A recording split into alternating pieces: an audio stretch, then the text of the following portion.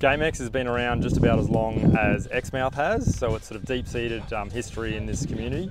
Um, also our last economic uh, impact study, uh, which was a while ago now, 2016, showed returns over uh, a million dollars um, within into the community, so we think it would have gone quite a, a, bit more than that at the moment. It's 212 anglers, uh, slightly less boats than last year, but more anglers actually, so we've had a few um, bigger teams. Uh, fishing's been great, weather's been pretty good. Um, we kicked off the billfish side of things with sort of 50, 60 average um, fish days. Last few days have been up around 100. Um, so lots of fish. Those um, daily numbers are the highest we've had um, since I think it was 2014 when we had a crazy year of sort of 900 fish um, tagged. Tournaments uh, used to be purely weigh-in tournaments. It's not the case with GameX anymore. It's probably about 95% if not more tag and release. As an example, we've had uh, probably going to be around 500 billfish tagged for this tournament. One weighed in, it was only because it was a record.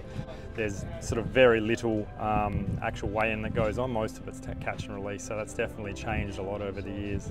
So far, with the weigh-in for the last night still to come, uh, we have had three, um, well, one West Australian record and two Australian records uh, weighed in, which tends to happen every year in GameX, so it's good to see that continue.